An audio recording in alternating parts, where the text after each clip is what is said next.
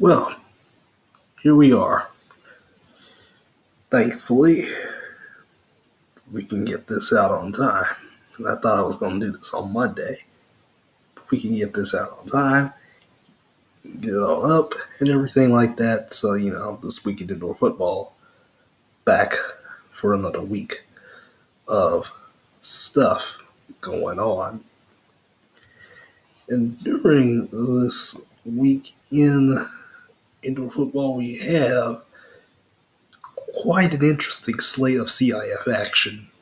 Uh, I literally just updated the slide. I don't know what's going on, but Gillette beat up on Rapid City 68 to 20. That game just ended. Uh, Sioux City definitely lived up to the hype 45 39 there in that game overtime victory for the Bandits in that one Saturday night. And then Omaha beat up on Billings 47 19. And like I said, you know, Salina, Omaha, Sioux City, top three in the league. It's going to be a combination of those three teams. Sioux City being my pick to win the CIF. Definitely watch out for Gillette now. Um, sure, they played, you know, Rapid City. They played Southwest Kansas so far, but Gillette looking legit, playing good defense and everything like that, scoring in bunches.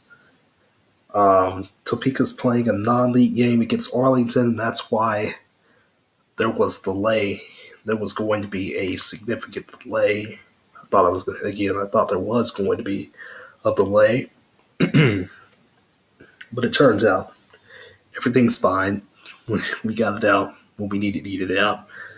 Um, CIF board of directors basically said, "Hey, we're going to give teams fines for you know not streaming games properly because there were some issues. You know, both more than likely on the team's end. There's also you know issues from the CIF themselves. They don't want to admit that.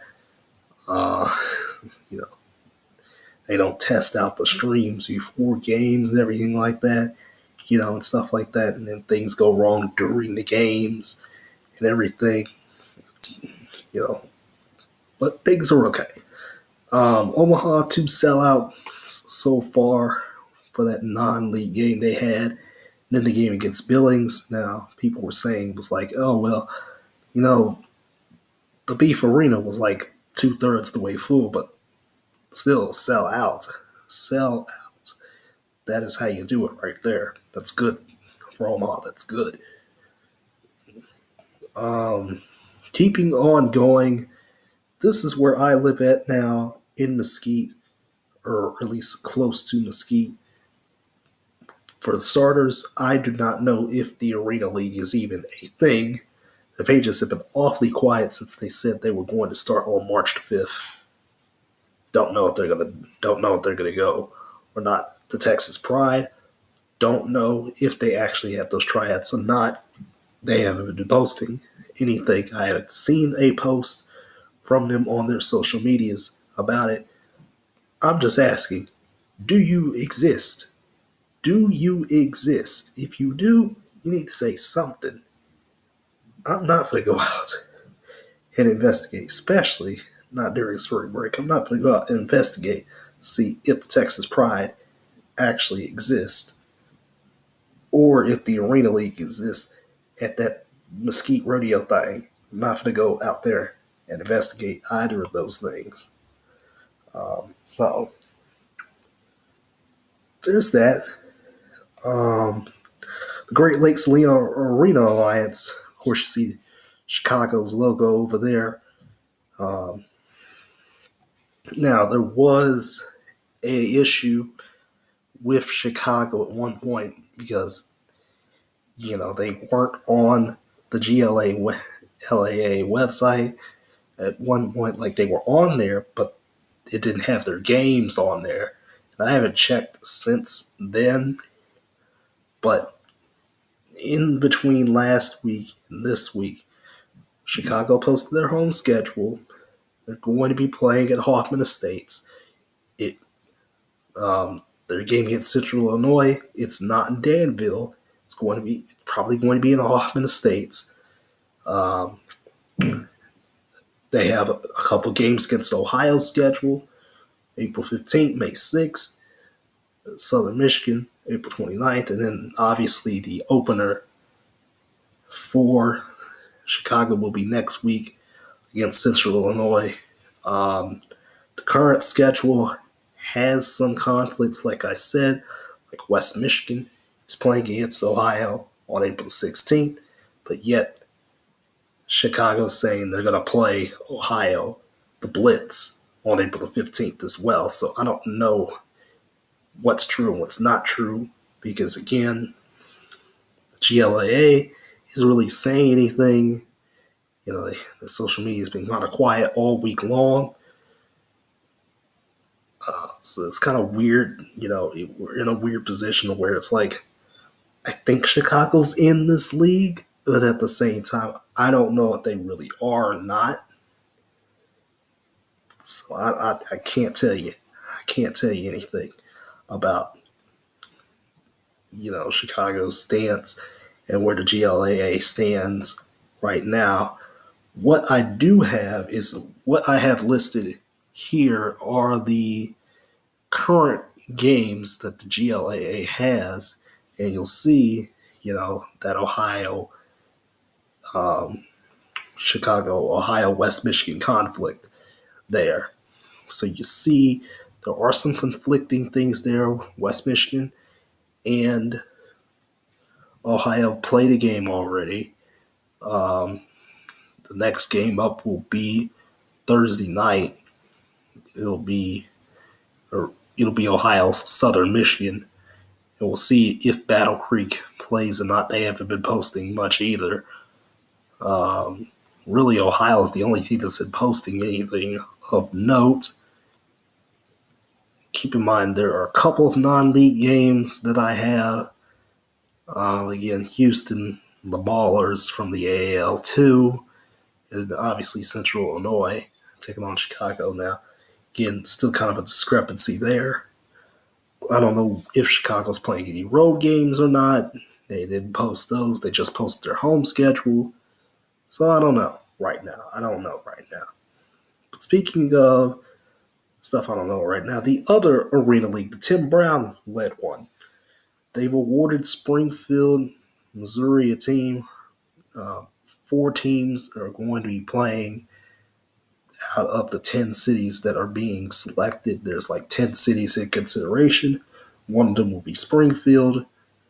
Four teams in total. June to August, 10 game schedule, six man football, 15 players total on the roster with a 20 second play clock, 50 yard fields, obviously, and there's going to be some sort of interaction with the fans. Now, I, I particularly do not care for this league at all. I just feel like, oh yeah, we're gonna have to talk about it at some point. You know, the you know the arena league. This this iteration of the arena league has actually been active on social media since like December.